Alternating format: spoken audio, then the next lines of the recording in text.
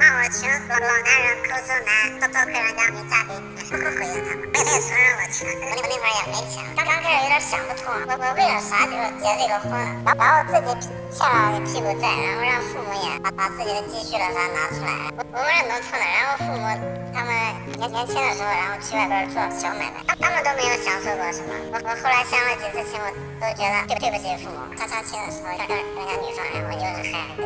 我父母都没吃过海底捞了，没看过电影了啥的，就其实我现在也挺挺渴望的，要有个孩子了，或者一家人了，都挺好。